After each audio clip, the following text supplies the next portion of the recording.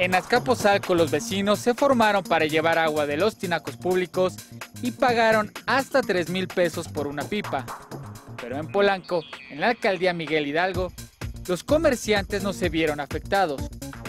¿les ha afectado el recorte de agua Afortunadamente no, para nada, gracias a Dios hemos tenido eh, hasta ahorita bien. No, ni siquiera tienen que utilizar ni una pipa ustedes. No, gracias a Dios, gracias a Dios hemos estado bien.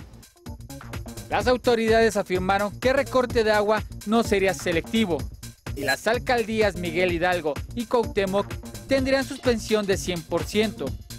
Pero en una de las zonas más exclusivas de la capital no se enteraron de la suspensión del servicio. En cuanto a las ventas, no. Eh, los fines de semana pues son este, días más fuertes. Entre semana está, está más, más tranquilo pero el fin de semana no, no, tuvimos ningún problema. No, no, ahorita los clientes no han, no han este, hecho algún comentario porque, pues, digo, tenemos, tenemos todavía el servicio de agua.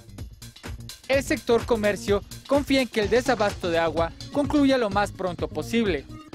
Algunos restauranteros tomaron medidas preventivas como utilizar platos y vasos desechables.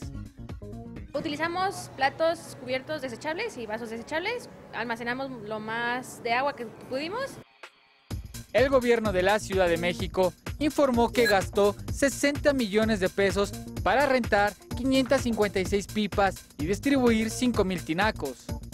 Por el recorte de agua fueron afectados 7 millones de habitantes, 4 millones de personas de 13 alcaldías de la Ciudad de México y 3 millones de habitantes de 13 municipios mexiquenses. Algunas zonas de la Ciudad de México comienzan apenas a padecer la carencia debido a la lentitud del regreso del suministro.